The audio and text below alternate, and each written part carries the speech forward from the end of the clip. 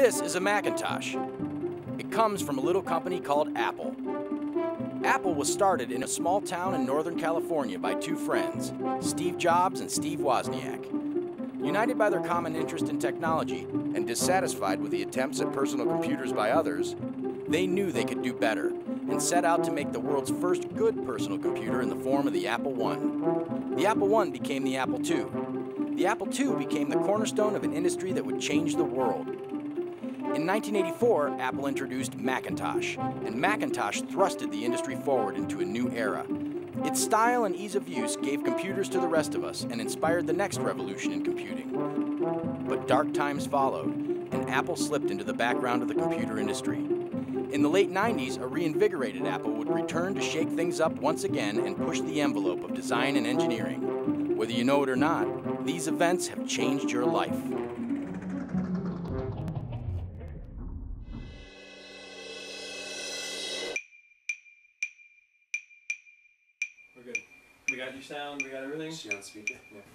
Jordan, hold on. You're, are, you, are you ready to go? Okay, so this is the story of how I was introduced to Macintosh unintentionally. My first Macintosh was an SE with a 30 megabyte hard drive. The first Mac uh, I used was, was my dad's um, classic. He had a Mac Classic, a Mac Plus. First Macintosh I purchased was on the day of the introduction. But I had a, an Apple II in 79, and then I had an Apple III, and then I got to play with a Lisa in 1980. Uh, had a blue and white G3, had a Lombard PowerBook, had a Pismo PowerBook, had a Titanium PowerBook. Uh, I was given a Macintosh 128 as one of the you know first hundred people in the Mac division. The first computer that we had, the LC, right, which I had to take away from you because you told me it was going to cost $2,500. I gave you my credit card, 3,500. I think it must have been about 1980. I played with a Lisa, and that changed everything. So it had two floppies in front and a 30 meg hard drive, and I thought I was in heaven. I mean, how could anybody ever use that much hard drive space? Uh, after the introduction, we were so keyed up we couldn't really go back to work. So that afternoon, we drove around to the different computer stores in the Bay Area um, trying to purchase a Mac. The first one I owned, the first one I bought with my own money was a 7200, and I bought an expensive monitor, and it cost me about three and a half thousand dollars. Got my aluminum PowerBook. I had a dual 800 G4 with a super drive. I've got my G5 at home. I stopped counting. Yeah, you ended up spending 7000 so I had to go and retrieve the computer from you and get it back. And so I inherited inherited this computer that I had no fucking idea what to do with or, or anything. and it was like a lot of money. I had to borrow it off my mom, and it took me years to pay her back. If you think about it, from '84 to 2007, you know that's 20 something years. I've probably had 50 Macs. And basically, I've had a Mac since April of 84, and pretty much have had almost every Mac in my hands since then. So that's how I was introduced to Apple. I had to go and get it from you and retrieve it from you because you had spent too much money on my credit card. It was the hardest thing I ever did in my life. I had to go and retrieve the computer from my own son. Yeah, it was pretty hard, man. It was not easy. Okay, all right, all right. So that ends that discussion. Okay. All right, so we're going to move on now. Okay, bye.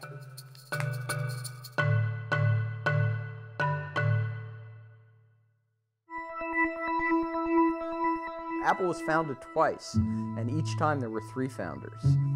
Two of them were Woz and Jobs, but the third one, in both cases, is not extremely well known.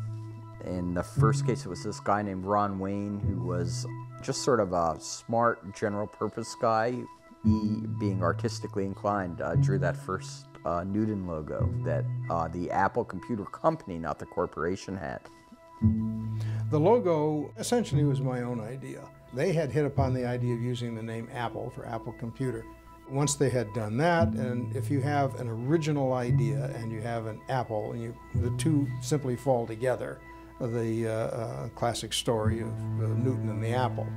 And so it was that I sat down and thoroughly enjoyed myself with uh, uh, India ink and, and, pen and illustration board and went ahead and created this image of Newton with the apple indicated above in a, detailed windblown ribbon that had the Apple Computer Company on it. And around the border, I had put in the philosophical comment, mind forever voyaging through strange seas of thought alone, which of course comes from the Wordsworth uh, sonnet. And that last line seemed to fit perfectly with the whole concept of this wonderful new product that was going to make the foundation of a new company. Apple was founded again, though, uh, as a corporation in 1977. The third founder was Mike Markkula. It's a little more well known than uh, Ron Wayne. When Apple came out, they were building the Apple Ones in the garage.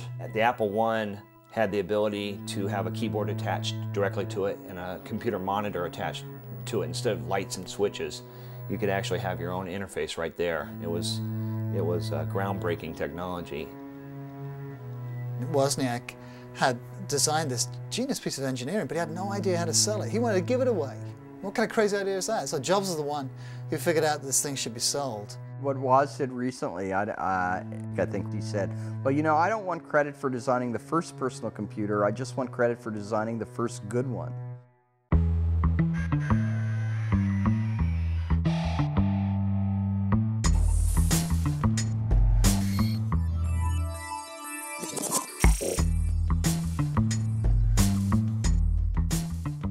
Rumor has it that Jobs hated the Apple One.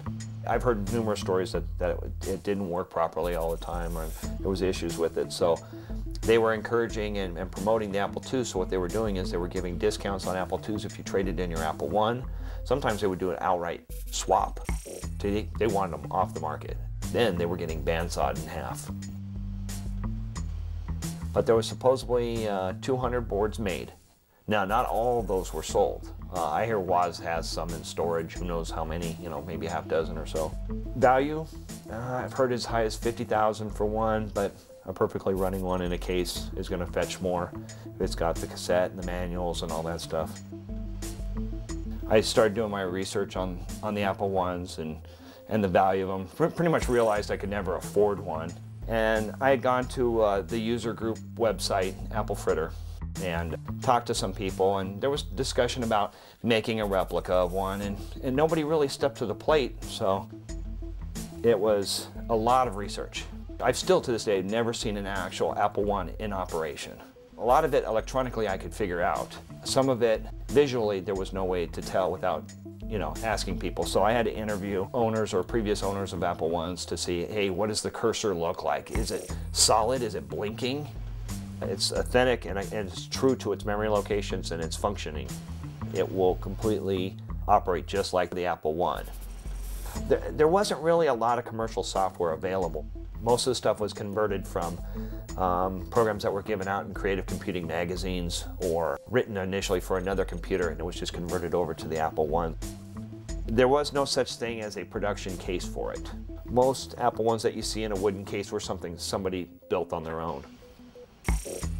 One of the most common things I questions I had was why didn't you make it look like an Apple One? I didn't want people selling these as forgeries, you know, as being an actual Apple One. For one, it's Woz's work, and I don't want anybody infracting on that. It's respect for the people that actually do own the Apple Ones. I don't want this project to devalue the Apple One. I had tried getting a hold of somebody from Apple and you know, saying, hey, this is what's going on. Can I get permission to use the source code?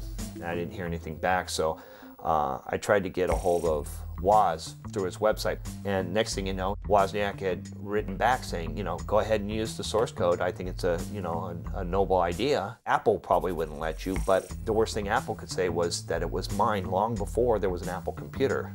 He had um, given out the source code schematics and everything at the homebrew computer clubs long before Apple existed. So it was pretty much his source code to give out.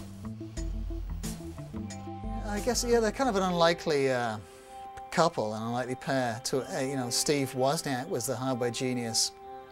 He's kind of a blue-collar hacker, interested only in the engineering. Uh, Jobs is the salesman, the slick, smooth talker, good-looking young guy.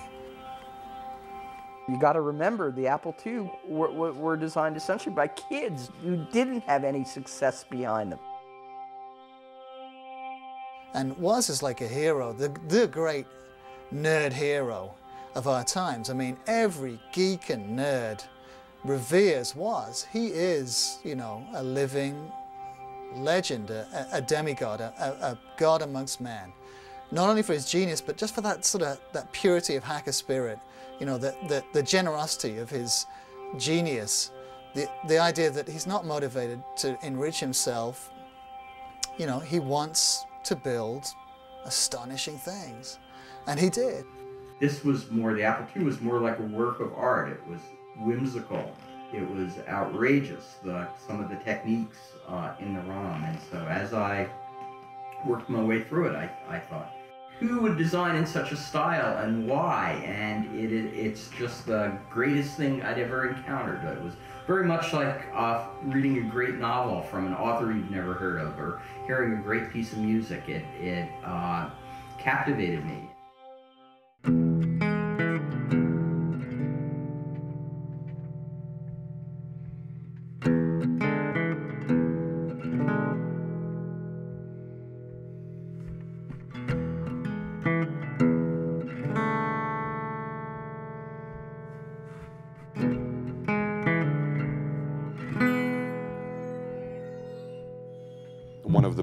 Success stories, I guess, would have to be what was known as Team Number One. Team Number One was the original franchisee of the Team Electronics chain.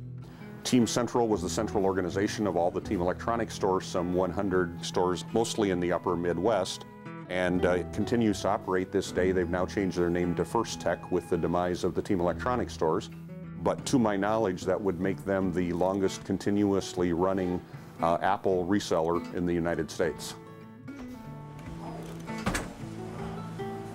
There's more back there. Got a bell and owl. Yeah. I don't think we ever want to fly this. It's probably not. Uh, Not flight worthy? well, is that it a probably kite? is, but it's just too valuable. you Oh, know? yeah. We got an Apple III back there and some other stuff too, but mo- this is mostly the, the fun stuff. The cool stuff. Oh, and Oh, we're yeah. pretty sure it all works. Back in 1977, I convinced my boss, at the time I was working as a buyer for the Team Electronics chain, uh, which was headquartered here in Minneapolis, convinced him to let me go to the first annual West Coast Computer Fair. Out there, I discovered a number of companies. I'd gone to look at the processor Sol machine. I was already aware of the Altair. Discovered a little company called Apple who had a pretty good sized booth right inside the front door. Struck up a conversation with a gentleman who told me that they really weren't producing yet. It would probably be later that year, October or something like that. The gentleman uh, seemed quite knowledgeable and, and once he found out that I was a buyer for a chain of electronic stores, was very interested, and it turned out the person I was talking to was Mike Markkula. Mike proceeded to talk to us about the program. Over the coming months, we put together agreements and whatnot, and in the end, he grabbed one of the first machines to come off the line, put it in a bag, jumped on an airplane, and brought it to Minneapolis. This was that machine. And you'll notice that the bag does not have a bite out of the apple. I don't know if that was a mistake on the part of the people who produced it, or more likely uh, that it was produced early on before Apple decided taking the bite out of the apple would make it uh, more registerable, if that's a word.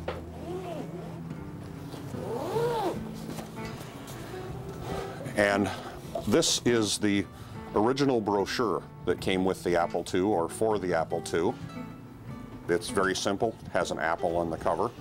And if you'll notice on the wall beside us, there is a photo uh, that looks suspiciously familiar. That is one of three photos that was ever produced uh, in photo form. I was given one for Christmas by Mike Markkula. I'm told that their banker at the Bank of America got one, and that there was a third one at Apple. And to my knowledge, uh, there are probably only one or two in existence any longer today. You'll notice many of the things here on the uh, original brochure. One was that they came with cassette tapes to load the programs. For a long time, we sold Apple cassette tape machines to sell with the machine because they couldn't get them otherwise. Remember, the computer was fairly expensive. In fact, I happen to have an October 1977 price list. And a computer system with 16K of RAM, which was what we typically sold it at, was $1,698. Now, you can have a, a good chuckle today, 16K was $540. So to outfit a machine completely would take you up to about $40,000. These are the pieces of software that were available originally with it. There was a checkbook, home management cassette. There was the breakout game, which was a little bit like uh, Pong, a Star Trek game, and high-res graphics routines. And that was what you could get with it at this point in time. That was every piece of software Apple had. And then this is the, the This, this is the real deal. It's a used computer. It was actually used, but here's the key. There's the serial number. And as you can see, this was serial number five, fifth machine to ever come down the line, assuming they put stickers on one through four. This machine was in regular use uh, probably up until, um, well, it, it, it was in regular use past the introduction of the Macintosh, so probably up until 1984, 80, no, 86 or 87, this machine was in regular use. That's what you came all this way to see. So basically, you had this before anybody else did. Yes, um, we, I guess I have to say I identified the potential of the product. We were the first dealer slash distributor that Apple ever had. Um, I wrote Apple's first distributor agreement, which was liberally plagiarized, I mean, inspired by a Pioneer car stereo agreement. Uh, went through and defined the terms and, and what would be done and sent it back, and Apple had their lawyers take a look at it, and we signed it, and we were the first ever Apple dealer.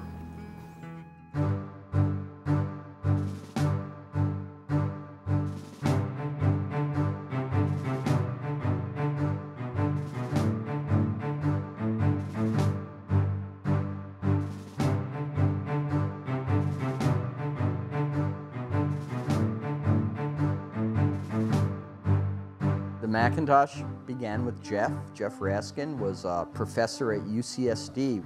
Jeff was a music professor as well as a computer professor.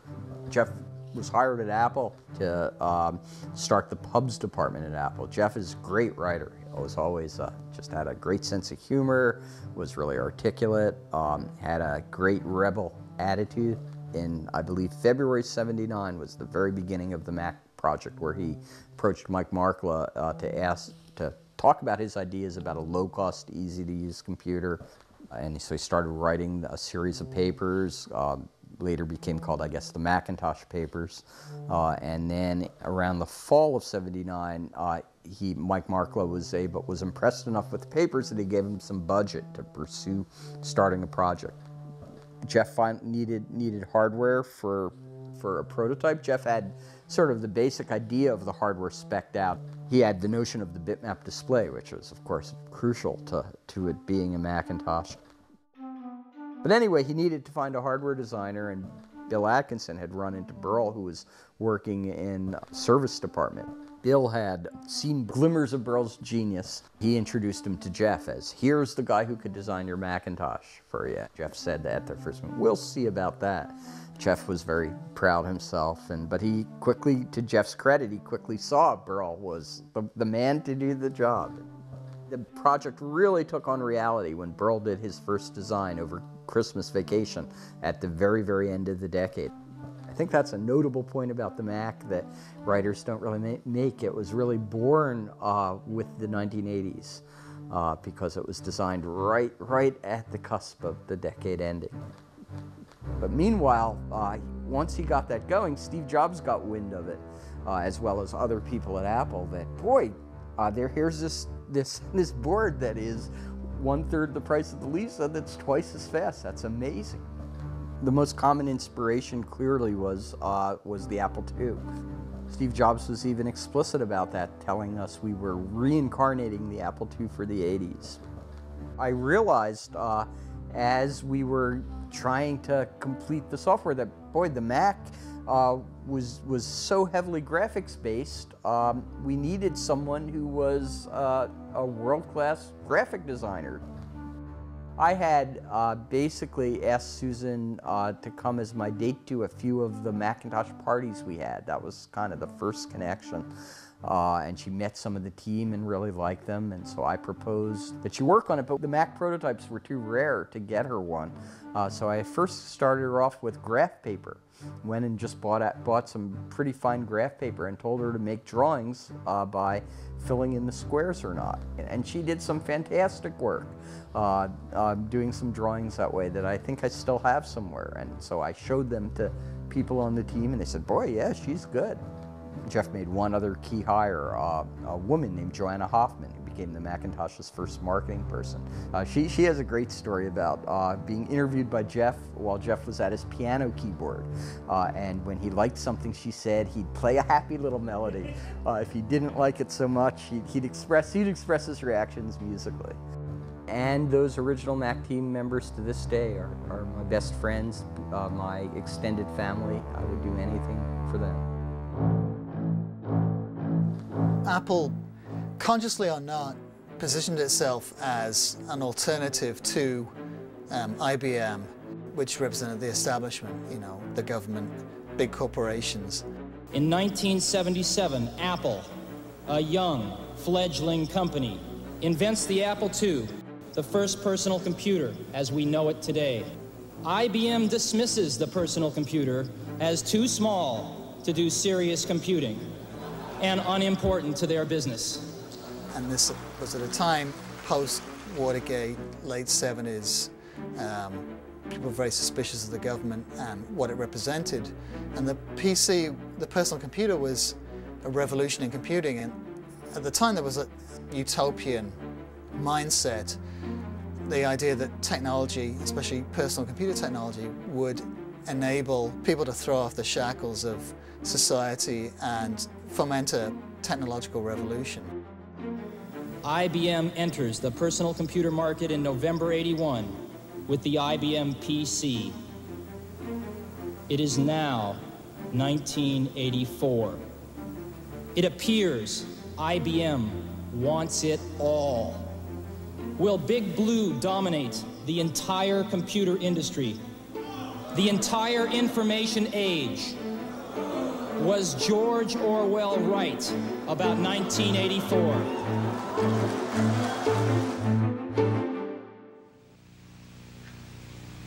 Hello, I am Macintosh. It sure is great to get out of that bag. Unaccustomed as I am to public speaking, I'd like to share with you a maxim I thought of the first time I made an IBM mainframe. Never trust a computer you can't live.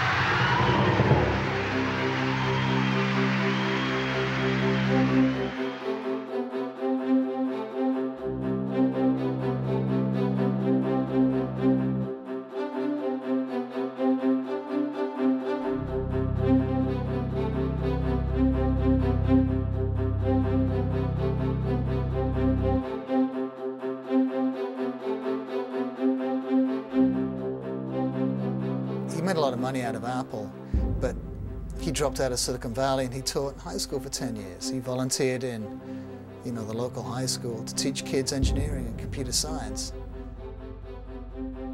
When Apple lost Steve, they lost their way to some extent. They became a shadow of, of what they were. you know, the first half of the 90s, they were sort of all over the place. They didn't know exactly what the best thing for them to do was. They didn't know if they were supposed to be licensing the operating system or, you know, if they should be making the Newton and trying to do the next big thing. Well, I think the main thing that touched most people is at the time, all the press was bad about Apple. Apple's gonna die, Macintosh's market share was slipping, there's no software, there's no hardware, everything was, you know, coming unglued. My first job at Apple was software evangelist. So my duties were to find developers or meet with developers and convince them to write Macintosh versions of their software, uh, as well as hardware manufacturers, so to create peripherals and stuff. So uh, It was basically to proselytize Macintosh to the third-party developer community. Well, the first time I was there, we were going to change the world, right? We were bringing out Macintosh for the first time. No one ever seen it, changing the world. The second time, obviously, the world had been changed. uh, perhaps the world had been changed uh, by adopting Windows too. So the second time was much more dire, sort of um, digging yourself out of a hole. The first time was just, it was like being paid to go to Disneyland. Um, second time was more like, you know, Vietnam. Although I wasn't in Vietnam, and so that kind of trivializes it, but you know, it was a war. The second tour of duty came when Apple was supposed to die again. So every 10 years ago, Apple's supposed to die.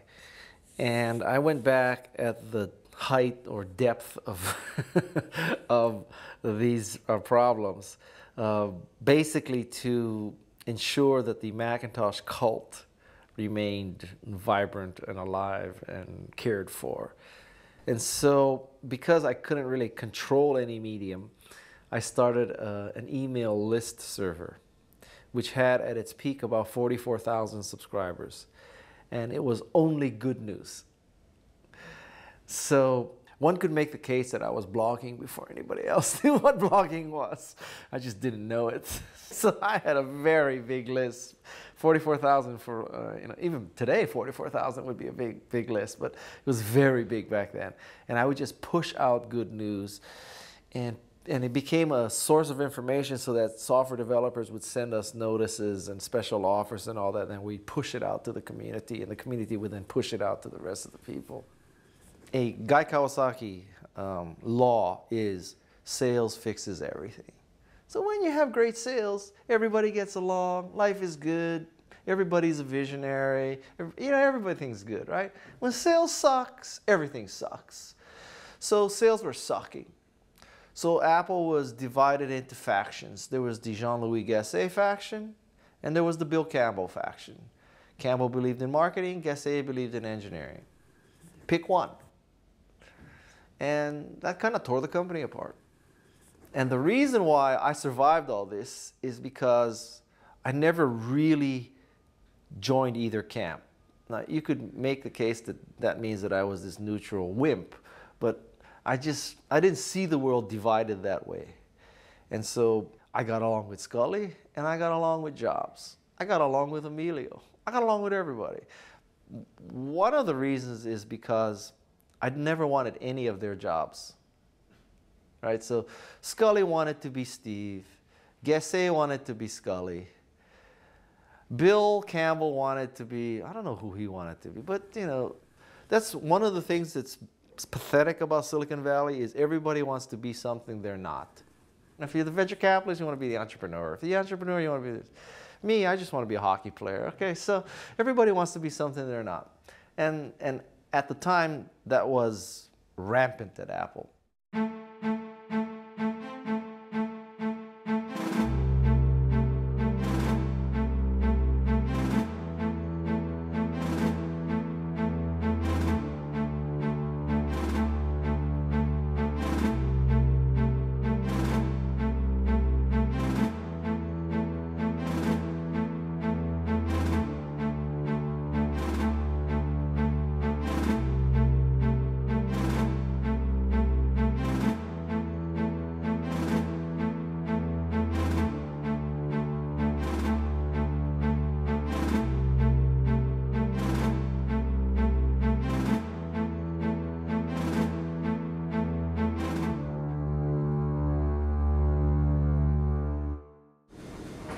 Started was 1979, when I took spare parts and built an Apple II. And then I tried to figure out how I could attach musical instruments to the computer, which um, led to why I needed to learn how to write code, which led to quitting college, which then led to um, getting a job. And, and then over the years, that turned into getting hired at Apple. So I was sort of informally in the QuickTime group as I was a formal member of the um, OS team although I didn't really report too well into that group. We were always kind of a renegade kind of a group, but we got shit done. But the work was really the sound manager, which was this complete rewrite that ended up fixing a lot of problems and ported it from all this nasty assembly code and rewrote it in C and like made it actually go like 10 times faster. And then right about the same time that we got the sound manager working, I started working inside of the moonlight hours over in the forbidden zone of um, what the QuickTime guys were doing. They were hiding out in the networking building. And the original idea was, now we've got these CD-ROMs. They're not just bigger floppies. What can we do with them? I know, let's make movies. And so that's where the postage stamp movie idea came from was, you know, you couldn't put one on a floppy, but you could put one on a CD-ROM. So, you know, taking advantage of the new media. And so that was the basic idea for QuickTime. And then that invented all these other ideas of how do you compress audio, how do you compress video, how do you stream it, how do you play it, how do you synchronize it, how do you do all these things in real time, how do you control it, and, you know, and then QuickTime turned into this entire industry based upon that basic idea.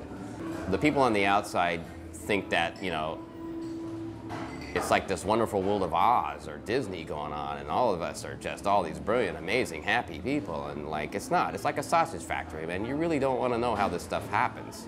A lot of it is just bad arguments and politics and working around the rules and, and, and not doing the right thing and apologizing for it later and getting fired a few times. I mean, that's how things got done. It's definitely like, you know, don't pay attention to the man behind the curtain. You know, there's a lot of that kind of stuff, and like you really want to know how this stuff is built. And to me, it's embarrassing. Like there's there's always big flaws to a lot of the stuff. You know, there was a computer that we shipped where uh, the speaker's magnet was right next to the hard drive.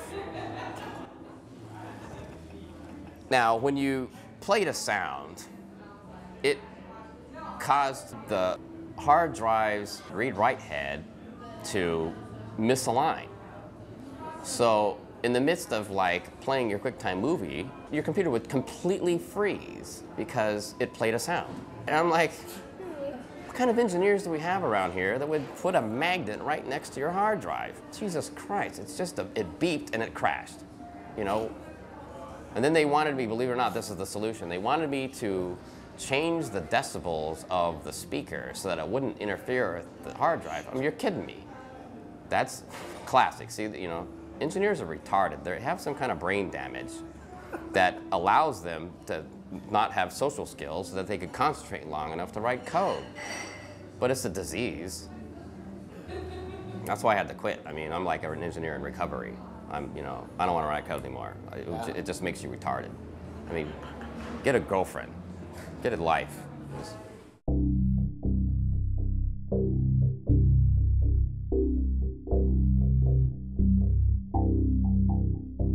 were times when it was when it was more difficult.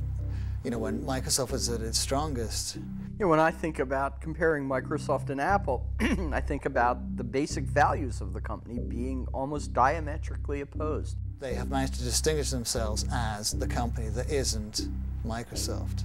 And I think there is a lot of Mac users who choose to use a Mac for that reason, that it isn't a Windows machine. I've used Windows to the extent that I've had to use Windows.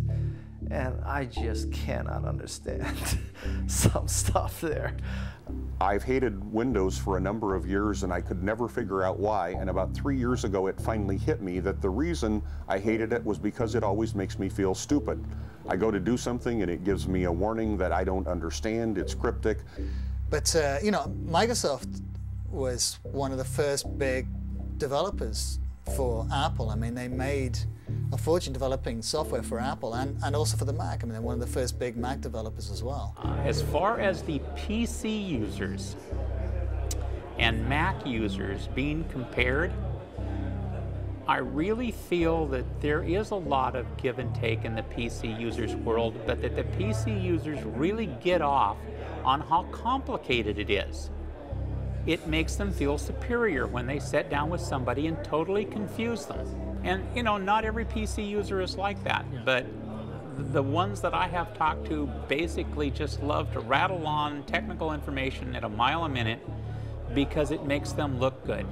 everything that you know went into Office, I think, were initially purchased from other companies and developed for the, the Mac, and then of course you know rolled into Windows, and then they you know I mean Bill Gates saw that the uh, Mac uh, operating system was the way to go, and Windows you know 3.1 borrowed heavily from that, and then Windows 95 10 years later, rest is history.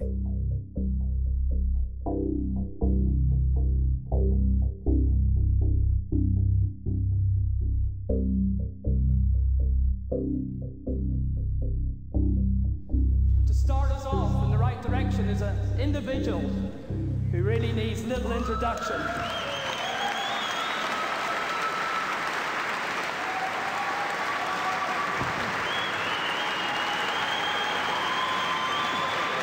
After all, after all, Steve Jobs has been around since the very first Macintosh. So please join with me now and welcome from Apple Computer, Steve Jobs.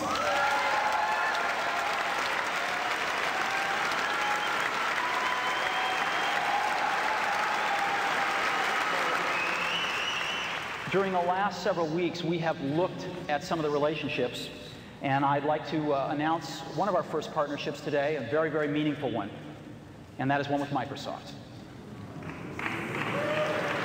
One of the things that I hear over and over again, always from Windows people, of course, is that Microsoft saved Apple from certain doom by giving them $150 million. Well, if you look at the whole story, Steve negotiated an agreement where Microsoft agreed to produce Office for another five years. Apple wasn't going to compete with them. At the same time, Microsoft made an investment of $150 million in Apple stock that particular day. Um, that served two purposes. One, it made it look like Microsoft was confident in Apple's uh, survival because they wouldn't have bought stock if they didn't. Um, and secondly, it kind of cemented the agreement that you know we're we're not only sure you're going to be successful with this product, we're going to back it up by buying some stock. So we're we're part of it. We're not only a competitor in producing software, we're a partner in owning stock. Um, what most people don't tell you is that they didn't need the money for Microsoft to survive. This was all a marketing game. And a lot of Windows people don't understand that. Microsoft didn't save Apple. And if we want to move forward and see Apple healthy and prospering again, we have to let go of a few things here. We have to let go of this notion that for Apple to win, Microsoft has to lose. Okay? We have to embrace the notion that for Apple to win, Apple has to do a really good job.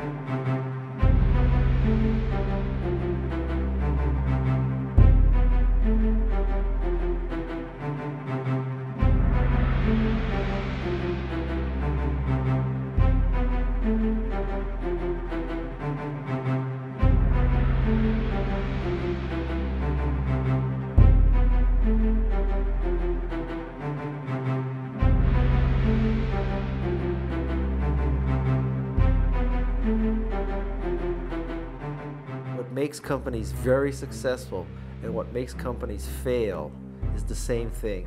It's sort of the passionate adherence to a strategy. People who are passionately involved in a concept, a philosophy, a design, a product, all right, will put everything of themselves into it. And you don't want somebody designing a product who isn't passionate about it. Innovation is, um, it's really the only interesting thing. What if you're not innovating? Uh, what's the point? When Apple creates through engineering something very cool that people want to buy, it does well. And when it doesn't, it doesn't. So, you know, guess what? Newton didn't succeed. Apple III didn't succeed. Lisa didn't succeed. If you stand back and you look at the Macintosh, the Macintosh line, everything they implement into their computers has personality. It's, it's like the difference between owning a, uh, a Ferrari versus owning, you know, just a, a, Ford Taurus. You know, it's sleeker style, design, it's, it's fun to drive, you know, versus one that you just use to get to work. So Macintosh was the mega hit, but what was the first company that really made CD-ROM drives on every computer? Guess what? It was Apple. Guess who democratized 802.11? Airport and Apple, right? Uh, and so, how about FireWire? Who made that a standard? How about USB? Some companies can think you can innovate too fast uh, because you don't uh, sort of milk the cash cow to the maximum before moving on. That's not the way Apple usually thinks. So after a while, it's not just the big hit. It's also, you know, you could say that these these revolutions were caused by little uprisings that Apple's, you know, made made successful. The mouse. Now, someone could say, well, PARC had the mouse and all that, but you know what? PARC didn't make it a commercial success. Apple sort of, and it basically comes from both Steve Jobs and Steve Wozniak, they, they, they don't really care about that. Sure, they want to make money, but that's not what it's about. It's artistic values. Apple wants to do the greatest thing possible. They don't compare themselves to someone else. Who cares about other people can do great things too? That's great. It's more like, um, you know, being transcendently brilliant. How could, no matter how well you've done it, how can you make it better? I, I would like to hear what Jonathan Ive would say his design is so inspired. It, it's like it's divine providence or something. He has a team of like phenomenally talented people, and they keep working on a problem until they come up with something fresh and, and, and new, you know, like the scroll wheel on the iPod or that Luxo looking iMac. If you look at what Apple does, after it does it, one thing you always have to say is, how come nobody else did this before, right? There's nothing like mythical about the iPod and the, the wheel, right? Anybody could have done that. You know, the colored iMacs changed, changed design in everything. You know, like even on the lids of PowerBooks, you know, they open up very smoothly because they have this weird counter balancing system. And no one is ever going to see this. It's not something that consumers will actually go out and buy. So wouldn't you think that some of these computer companies would say, aha, Apple does well because it has beautiful products. So how much could the most expensive industrial designer in the world cost? You know, a million dollars a year in salary? Two million dollars a year? Five million dollars? That's what makes these products so beautiful. That level of commitment and dedication to the thing to make it the best thing possible. I'll tell you what, I'll take you to Fry's and I will show you lines of crap. Ugly portables, ugly towers, ugly monitors, ugly MP3 players. Why is that? I guess in a sense it proves the point that these people don't know what to steal. They don't know what to steal.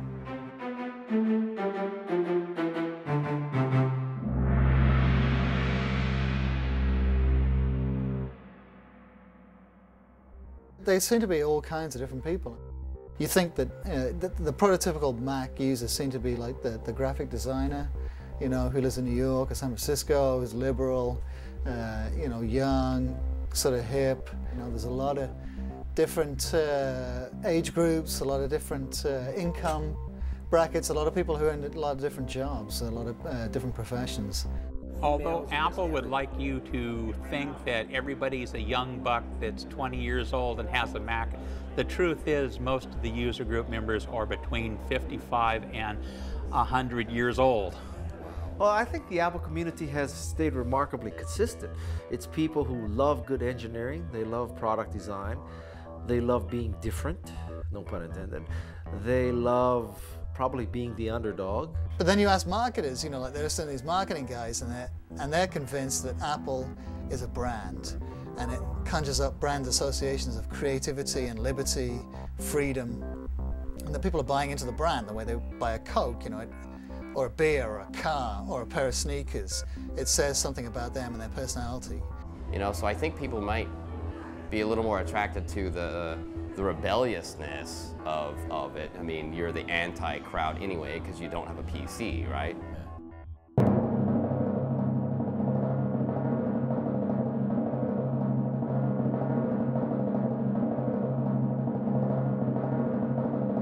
For a lot of people, it's a revelation when they go to Macworld to see all these other Mac users. I mean, it's amazing. They, they never knew all these people were out there.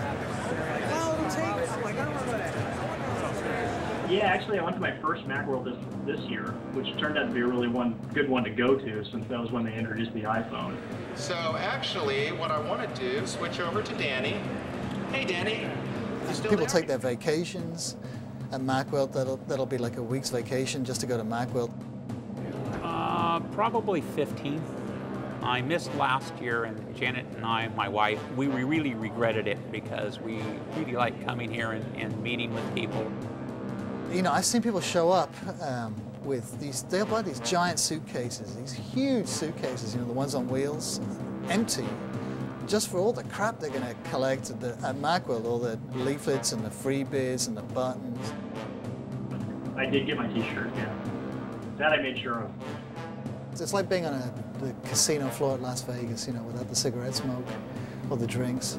So you're horribly sober, and people are barging into you and screaming and shrieking. You know, I've been at Macworld, and um, Jobs will whip out, you know, some new machine. And my God, I've got to have that machine, even though I've already got six computers. I've got to have that one that he's just unveiled. Why? Because it's faster, or it's got a silver case, or it's got, you know, Bluetooth built in, or something just crazy and stupid, really. But I got to have that machine.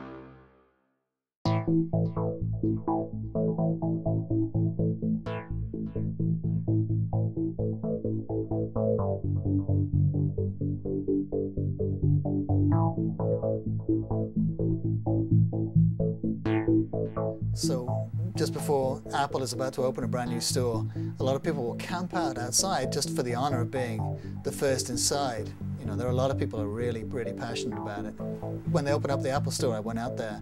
There was three, four hundred people who camped out overnight to get into the store, and then by the time they opened it, there was several thousand. I forget, two, three, four thousand people, and they were wrapped around the block. You know, a couple of times. And before Apple had uh, Mac stores, you know, across the country, a lot of people would go hang out at their like mom and pop Apple store. People would come in with their broken down computer and intending just to drop it off, but they'd end up staying all day and they'd start bullshitting and talking to the other people in the store and they would like meet other people who are like, uh, you know, they don't necessarily have anything in common with except they're Mac users and that's enough, you know, to cement it for them. Yeah, this is a mom and pop business, absolutely, and I and I couldn't have three stores without them. Um, one of my stores is managed by my oldest son, who's 27. Um, he manages the Ventura store. Um, my wife manages this store while I manage the uh, Woodland Hills store. I have two daughters who are teenagers. Jessica works here regularly. Kayla comes over and kind of participates. Um, my little boy, he works here daily. He, he mans the little kids station. This is definitely his his operation. You know, he captures the attention of, of most women and all kids. At one point, I became a real Mac person because I'm not sure how it happened, but they were just computers, and then all of a sudden I realized, you know, I am a Mac advocate. I do push this stuff, not just trying to sell it because it's my business, but because they work well. I don't bang my head on them. Stop it. That's not nice. So here's what's happening. There's a, Oh, a sound mic right there, so every time you talk, It's in there. you interfere with. This was my first foray into retail. Um, Successful? I'm putting everything back into it, working to make it successful. So this this started out just as an idea. I'm trying to figure out new ways to advertise. First, I tossed it out to the guys in the, the Apple Specialist group, and I got maybe three or four responses of people that have done similar things. I didn't see any pictures of full car wraps, But I, I looked on the web and I saw all kinds of cars that were wrapped with full body designs, and I liked it. It seemed like it could work. I'm trying to become a retailer and learning new things about it. The big box guys don't entertain me at all when I go into their stores, but they've got mountains of product and they've got negotiating power, the likes of which I could never imagine. But hopefully, we get a bit, little bit better experience. 90% of the things I do doesn't work. Hopefully, the 10% that works, it seems like it's paying for itself, pushing things forward. So I'm keeping trying. people like us keep the machines around for so much longer. I mean, I don't think PC owners really do that. But you know, a Mac user, they'll keep they'll keep an old machine around forever if, they, if it's, as long as it's still running. We've all got old Macs, like you can't bear to throw away in the basement or in a cupboard somewhere in the attic. They're kind of hard to part with. You always figure that one day you're going to dust them off and do something with them, and because you never do, they, they just sit rotting away. So I mean, there's a lot of people that collect them, but there are some some are more serious than others. Okay, up first is our G3 monitor, very rare. Uh, when this came in, a friend of mine brought it in. The first time I'd ever seen it. I didn't even know that Apple made it, but it was got the Apple logo on it, and it was made for the G3 tower. This is Apple's entry. It's got the Apple logo on it into the portable printer. You may recognize these as black with the Bell Howell name on them. Apple made made it for Bell Howell, and they were ma mainly education.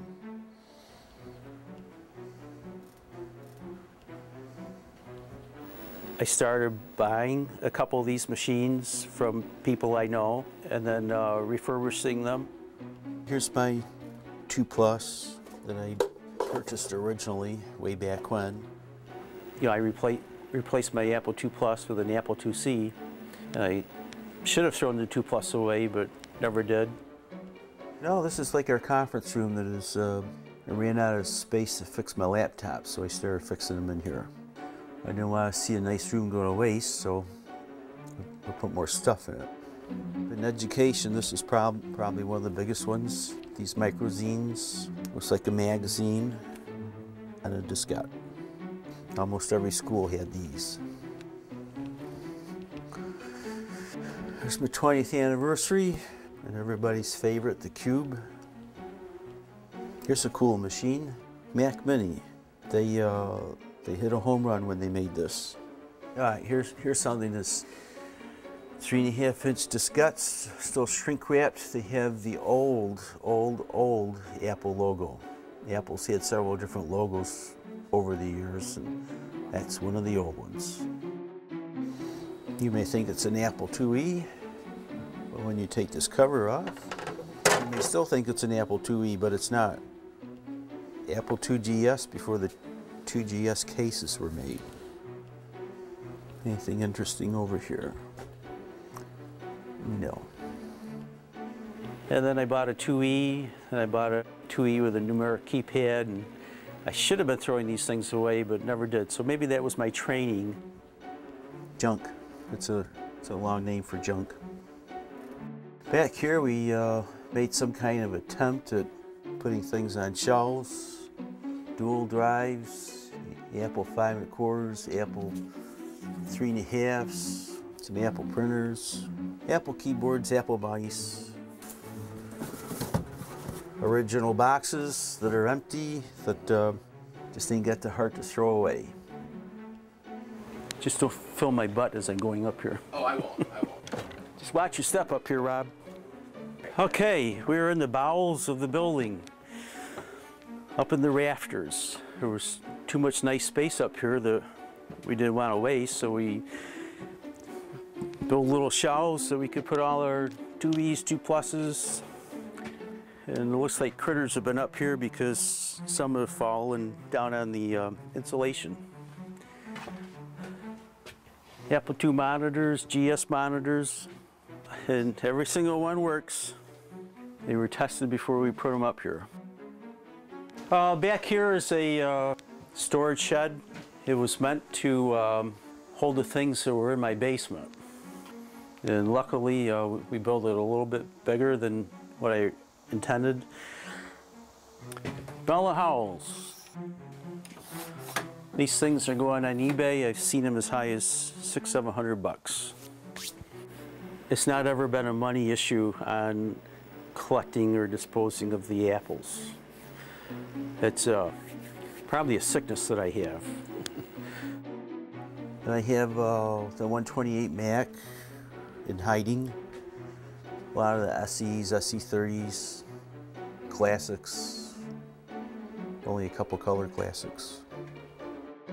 6,000 square feet building, and uh, this is this is only maybe uh, less than half of what I have. There are probably other Mac people out there, same boat as I am, that just won't throw this stuff away. So I'm starting to see all these complaints about cult of Mac. What are they? It's not a cult, you know. This is a rational choice.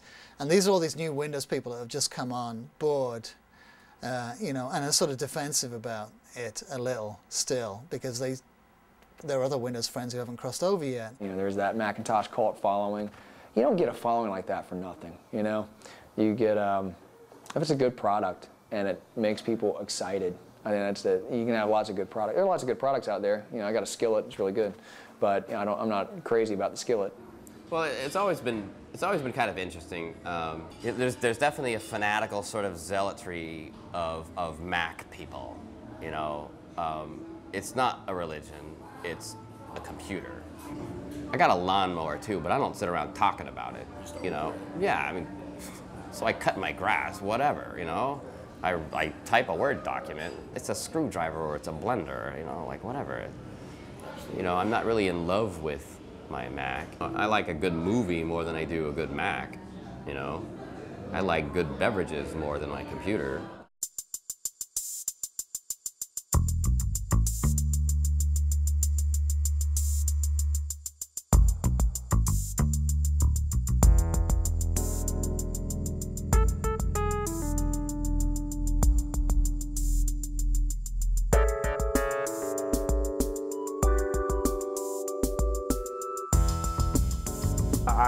Watched the rumor sites like a hawk, and, and I, I, I was a little more lucky this time because when I, my blue and white G3, I, we, we got it, and then the G4 came out two weeks later. It's like what?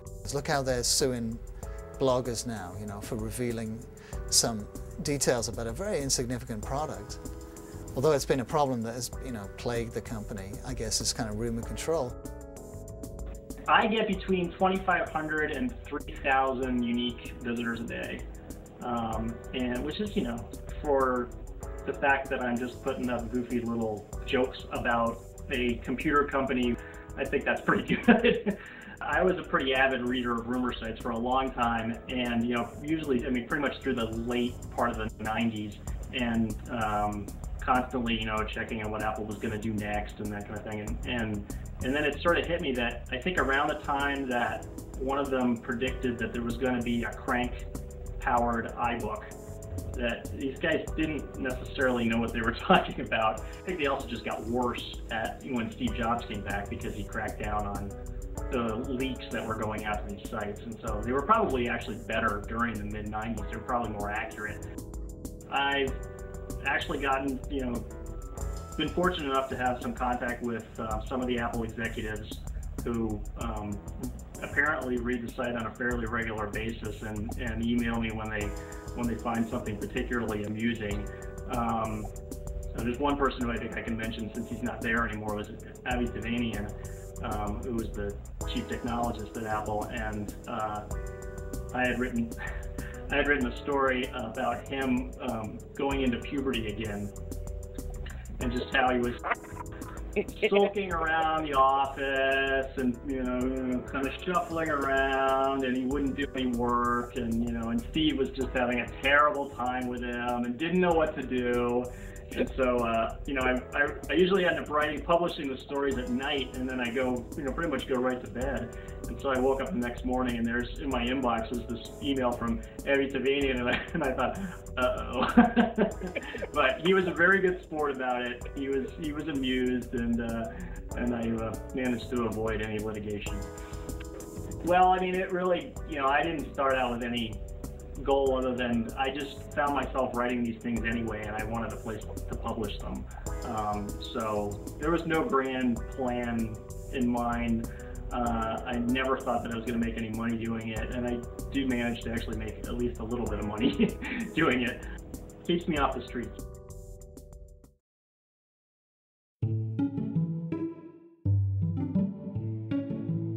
The, the idea of a startup sound was, was from the Apple II. The Apple II, uh, once it reset, made a little beep uh, with the square wave speaker, so we thought that was a great idea. It lets the computer know it's a, let, lets the world know it made it, like an infant's first cry.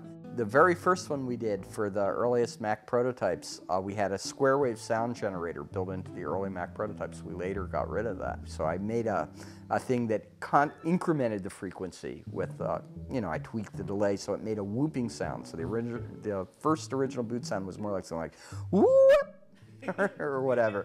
And it was, it, it was, it was a little comical, uh, but it wasn't very elegant. And so I was experimenting with different things for the boot sound, but a guy named Charlie Kellner had just joined the Mac team, was also a brilliant musician, and he had actually designed one of the first uh, PC-based synthesizers called the Alpha Syntauri uh, for the Apple II, was an accomplished musician, and he kind of looked what I was doing, messing around with different boot sounds. I guess for the period of time I was doing it, everyone could just hear it, you know, trying this, trying that. And he said, oh, he had an algorithm he always wanted to use that was, uh, it's not conceptually musical, it's more con conceptual at the algorithm level, which was just filling the sound buffer with a square wave and then just making passes through, uh, averaging every adjacent sample till, till, till they got to be all the same. Uh, and that made a chiming bell-like sound. Uh, it was in the Mac, you know, starting in 1984, and it lasted up until the Mac 2, where once again uh, they put in even more sophisticated sound hardware, and they came up with a different sound that uh, I wasn't involved with. Well, the startup sound, let me think. Well, the main inspiration was how horrible the one on the Mac 2 was. So a tritone is the most dissonant sound you can imagine, and stack four of them together. And, uh, and that was the sound that you heard when you turned on the Mac, which was horrible. And so um, I set out trying to change that because it didn't make any sense, especially when you usually hear the startup sound after it crashed. And so I'm like, great, reward for a crash. So the, the sound that I wanted to do turned out to be politically a challenge. No one wanted to change it. They thought of it as the brand. And there was this new machine that we were building at the time called the, the Quadra. And the Quadra was going to have um, better speakers. And then I'm like, great, horrible sound on better speakers. And so I started working on new sounds that would be the sound of um, well, I kind of thought of it as what's the palate cleanser for a crash? Plus, it was this new, bigger, badder machine, and I wanted it to sound like a bigger, badder machine. I remember when Byte Magazine did the review, the very opening paragraph of the review was, I knew it was going to be a good computer by the way it sounded. So I was like, I did it. That was the, the actual goal, was I wanted it to sound like a good computer. And then unfortunately what happened was, no one wanted to change the sound we ended up just doing it. And um, after that, everybody changed the startup sound with every new ROM, which was exactly the opposite problem. You can't establish a brand if you keep changing your logo with every product release. And so, you know, these, these sonic logos or earcons where, you know, that should be a recognizable sound. Right about the same time Steve Jobs came back, um, I heard, the story I heard was uh, he had said, let's go back to that good sound. And, I, and, that was the one that I had done. And so it's still been there. It's the same one. It's the only one that's ever been there since.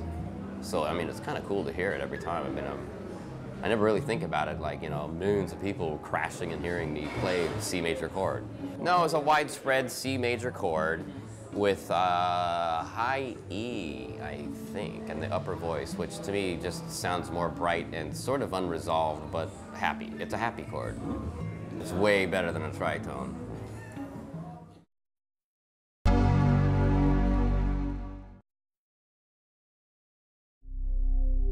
One psychologist said that um, you know people form a social relationship with their machine. It becomes like a friend. You know, it's, it becomes personalized. You know, it seems a little silly, but you kind of build up a relationship with your computer, and it can either be a good relationship or it can be a dysfunctional relationship. And you can customize any any computer system, but these are very easy to develop a relationship with that's different from customizing. They're the closest devices that I know of that are really symbiotic. And I'll admit it, you know, when they uh, when they do make it so that you can kind of jack in neurally, I'll do that. Yeah, I think maybe somebody somebody needs to sit down with those people. Maybe it's Dr. Phil. Your computer doesn't love you. this relationship is not working. Don't be an enabler. Their soul is somehow reflected in in that machine. You know, it's a, an object of, of communication, but also of creativity. You know, the most essential things that, they are, the things that express themselves, are expressed through the computer. And so they invest, you know, so much in that that it, it it's a cybernetic relationship.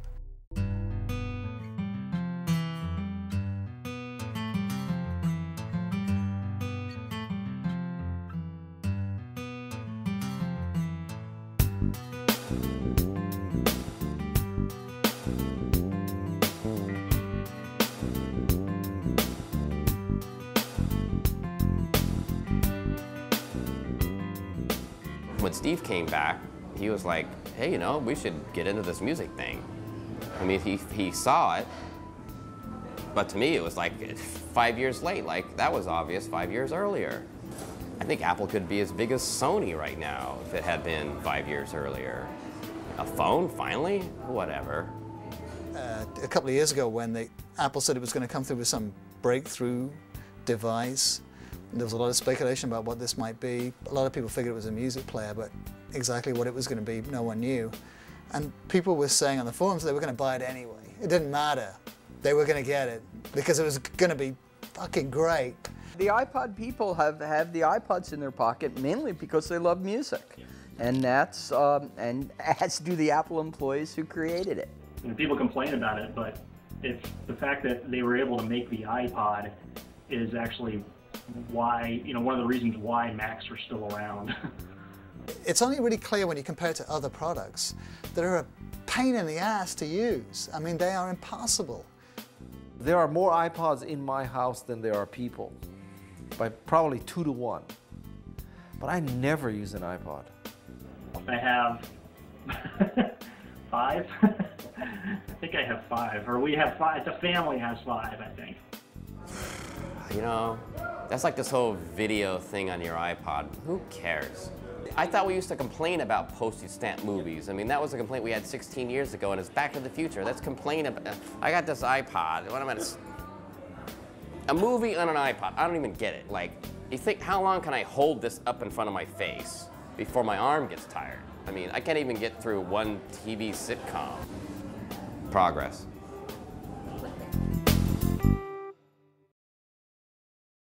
Big part of Apple's uh, marketing uh, budget was like sticking the machines in movies and TV shows. You know, so it culminated with um, uh, what was it called, um, Independence Day, when the PowerBook, you know, taps into the alien computer and uh, blows up the alien ship. Um, they paid, you know, tens of millions of dollars, I believe, to do that. And this is like when product placement was starting to become big business in Hollywood. So, um, but since then, you know, you see you see them all over the place. I mean, they are all over TV, and that has a lot. You know, part of it is product placement. Part of it is because Macs are popular in Hollywood. You know, obviously they're used for video editing. I've edited uh, somewhere between 40 and 50 movies, television, theatrical movies, uh, no documentaries. Well, start with my calling card, Rocky, Down on Beverly Hills, Beaches, American Gigolo, um, Sister Act, um, The Net, Payday, my, one of my favorite movies. I was a very successful film editor editing mechanically with German machines, KEMs, uh, Steenbecks, Moviolas, uh, whatever, everything you can imagine, every piece of mechanical equipment you can imagine I used. Well, I wanted to move forward into computers, but believe it or not, they were reluctant to. They, they still thought it was cheaper to edit the old mechanical way. Well, I had, I'd experimented around with the Lucas system, the Laserdisc system. That thing, thing was ridiculous. The montage, that was ridiculous. And uh, the Lightworks, that was, was sort of starting to happen.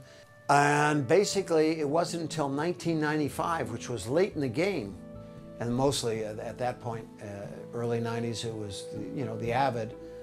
I went and I had to do a picture, a Columbia picture, with a Sandra Bullock picture called The Net. It had a very short post-production schedule. I had no experience, had no idea what I was doing. Within three hours, I had the basic principles down. So it was, it, was, it was a good system. I continued editing on that system for, for at least seven, eight years.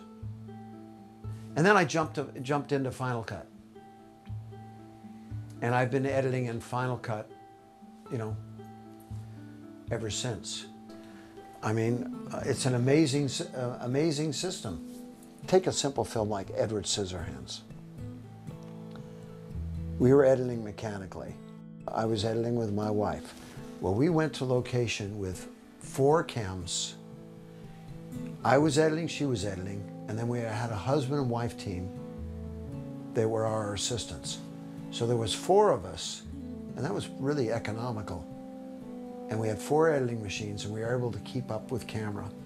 And we were able to get a Christmas release and do the movie quite quickly. With this system, I'm pretty much a one-man band and my assistant.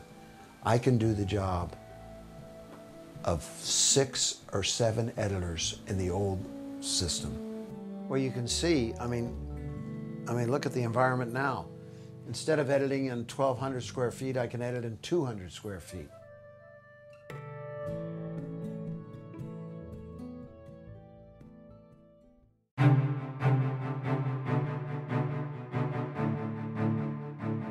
Apple is Steve Jobs, for sure. I mean, he is the one who defines the company. He founded it, but I mean, look at its recent history. It, it, it, he has his personality stamped all over it. I used to say about Steve that he was the best person uh, possible to work for and also the worst uh, because he's a, a man of extremes. Steve's extremely passionate, he's incredibly sharp, uh, he's more than anything else incredibly quick. He's got the quickest mind of anyone I've ever talked to. Yeah, I mean, I, I idolize Steve Jobs. He's absolutely, you know, one of my, he's, a, he's like my favorite celebrity. But I, I don't pretend to think that I would understand what would come out of his mouth if I asked him the question. I cannot explain how Steve comes up with these things because he has a different operating system. And so mere mortals cannot understand him. So that's why when people try to understand him and you know his quirks and all that, they get very frustrated because you can't. It would be like telling a fish how to understand how a bird feels flying. It cannot be. The fish is stuck in the water, the bird is soaring. It's a different operating system. That's what it is. I think Apple is his place in the world. This is where it all began. And obviously, it's, uh, uh you know, it's a piece of himself it's a company that seems like it needs somebody who's not just your ordinary CEO to run it. They tried a number of ordinary CEOs in the 90s and it just didn't work. Because if you look at uh, the time era that Jobs was not there, Apple fell into a category where their, their Macs were just becoming like everyday computers. And there was nothing special about them. But of course, Steve, Steve Jobs has an incredibly strong aesthetic, in, in case you can't tell. I don't think you could change the DNA of Apple if you tried. So Apple's DNA is in, in building cool stuff. It's an engineering company. They can say they're marketing and all that, but you know, marketing-driven company is a company that theoretically listens to the market and deliver what the market says it wants. that, you can say many things about Apple, but that ain't one of them. Okay, they don't listen to anybody. Apple's idea of market research is, you know, Steve's right hemisphere is connected to his left hemisphere. That's the focus group. Immediately when Jobs came back, first thing he did was the iMac. He set the personality, he set the tone of the computer. He's like, here, we're going to break boundaries. We're going to take the, we're going to take it to the next level, the next edge. You could make the case that Apple III wasn't his, and Newton wasn't his, and uh, Lisa wasn't his. So the only time it flubbed or stubbed its toe was when, when Steve wasn't behind it. I don't see Apple being able to continue at the pace that it's going right now. I mean, I don't expect it to suddenly, you know, fumble and fall, but it's not going to be what it is now. Now, the, the problem is going to be the post Steve, if you bring in some dickhead who thinks that he's mini Steve, and he too is a visionary, and he too understands what people need but cannot express.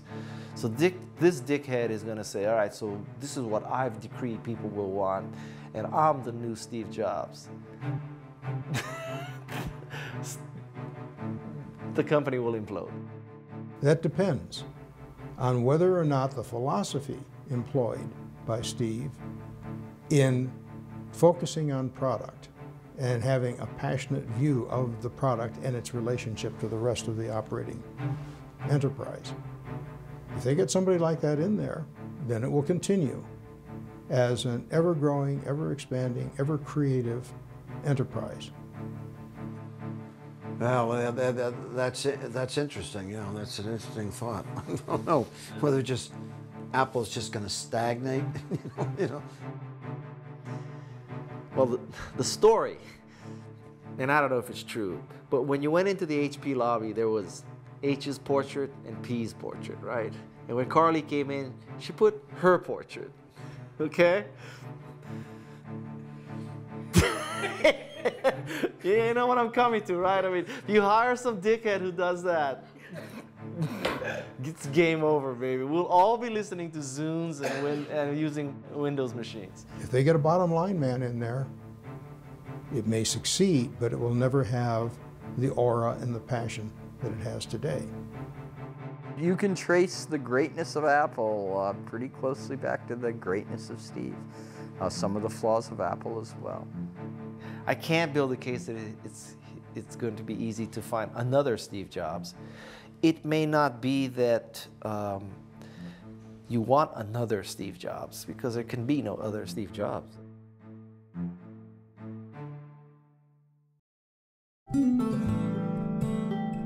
Macintosh spirit was not something uh, we created with the Macintosh, although we, we, we sort of contributed to it. But it was there before the Macintosh because it's really the spirit of the Apple II. And so, so, so much of the spirit of the Apple II is the spirit of Steve Wozniak's personality as well as Steve Jobs's. Yeah, the core of Apple is to change the world. And that has not changed. I don't think it can. I don't think it could change if you tried to change it. And in a broader sense, though, some of that spirit of the Apple II was the spirit of the personal computer revolution. And really, what that is more than anything else is uh, the uh, celebration of unbounded possibility. Uh, the key thing, those, those first microcomputers, even pre-Apple II, but even the Apple IIs, couldn't really do much. Yet they were incredibly exciting because you knew they were the seed that would change the world. And if you look at Steve and Woz, what they did is they created Apple One, which was changed the world. Apple II changed the world. Macintosh changed the world. iPod changed the world. And maybe this phone will change the world. So, you know, that's five things. You can't call that luck we filled the machine with our love and passion for what we were doing, and it radiates out on the other side of the screen and affects the user.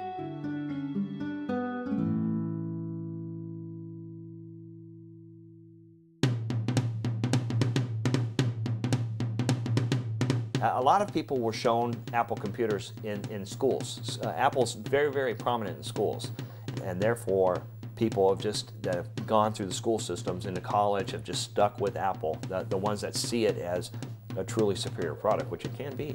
Well, we're, we're like all other user groups. We got together because, it, you know, uh, stuff was really expensive. You couldn't afford much. And quite frankly, almost every user group in the world started out as a pirate group and became legitimate. The commercial was great. The commercial was fantastic. I then edited Pirates of Silicon Valley many years later, and the movie started off with that same commercial.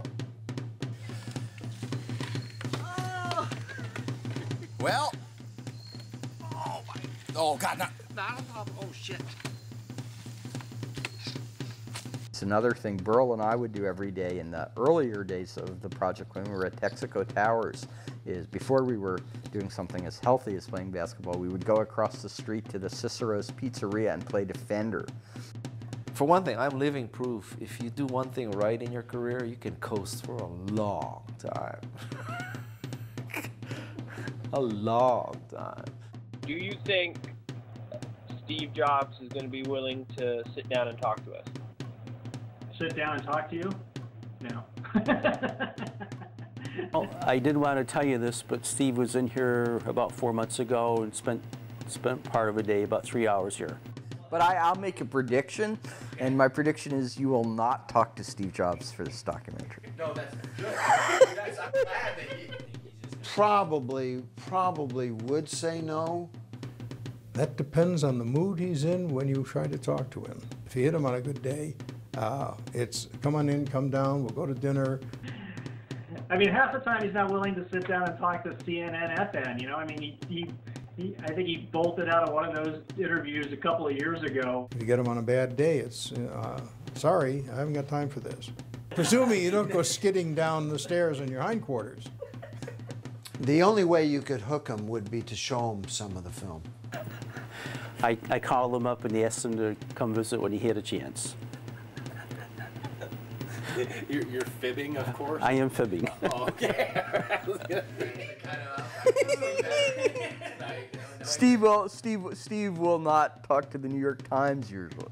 So It might be better even if you didn't have him. It might be better if you had you had a like a cloaked figure behind the background, and, you know what I mean. And this was the mysterious Jobs, you know. I shouldn't tell you this, but he lives walking distance from here. You could go go stake out the house. no, he'd probably call on us or something. yeah, he probably would. Yeah.